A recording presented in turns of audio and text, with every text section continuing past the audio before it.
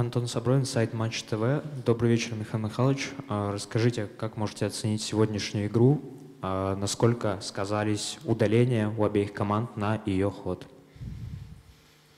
Да, добрый вечер. Но за исключением э, то, что потеряли очки, э, в принципе, э, был хороший матч с нашей стороны по качеству. По динамике, по движению, э, по созданным моментам их было очень много. Э, нужно было постараться распорядиться этими эпизодами.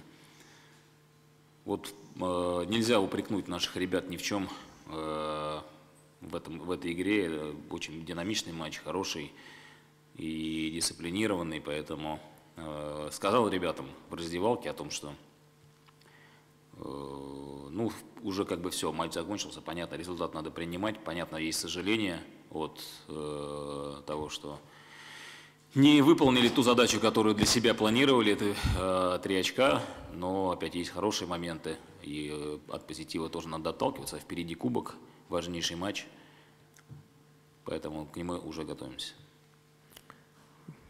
А, Еще один вопрос. Сегодня был такой исторический момент в том плане, что рефери объявляли свои решения на весь стадион и в трансляции. Расскажите, как вы к этому относитесь? Помогает, помогает ли это как-то лучше понимать эпизод, его трактовку, или это не имеет какой-то вообще пользы, на ваш взгляд? Ну и может быть для тех, э, кто сидит у экранов телевизоров, это есть какое-то подспорье. Я, честно говоря, вообще ничего не слышал, потому что все расплывалось на фоне стадиона. Э, все объявления, да, поэтому половина было непонятно, о чем говорят, что говорят и так далее. Вот поэтому только добавляет к этому времени дополнительного, да, к основному. Вот. Но и приняли такое решение в регламенте, значит, будем его придерживаться. Спасибо. Евгений Загитов, телеканал Матч ТВ. А, вы упомянули моменты позитивные в игре Локомотива. Да? Можете вот э, подробнее рассказать про них, пожалуйста? Вот что это за именно конкретные моменты? И второй вопрос сразу. Э, не в стартовом составе были там несколько лидеров команды, там Миранчук, Дзюба, Митай. Э, вот, но потом вышли, когда уже результат, ну, нужно было добиваться результата. Может, стоило их вначале выпустить? Понятное дело, что вам виднее, но все равно, может, порассуждать на эту тему. Спасибо. Э, что касается э, позитивных моментов, хорошей скорости, хорошее движение, хорошее взаимодействие, в принципе, которые приводили к очень э, острым эпизодам, голевым моментам, которые, я еще раз повторюсь, их было предостаточно и надо было распорядиться ими.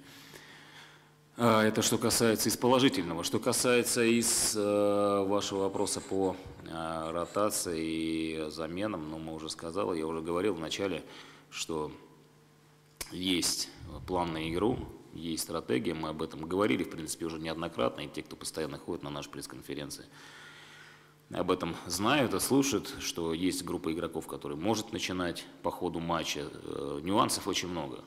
Э, кто может начинать в стартовом составе, да, это стилистика игры соперника, наша игра, что мы тренировали, качество поля, э, единоборство или э, больше там вертикальный футбол.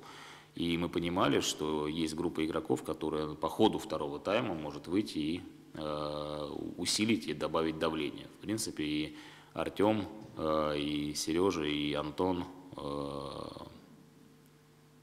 те ребята, кто у нас еще выходил там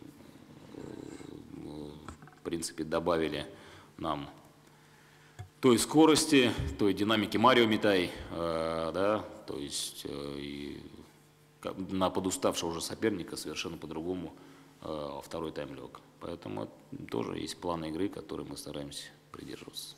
Не, не, это не в коем случае, что мы кем-то недовольны или э, кого-то вывели из состава. Таких вообще нет. Нет и не должно быть мысли ни у кого. В первую очередь у вас самое главное, я имею в виду средств массовой информации.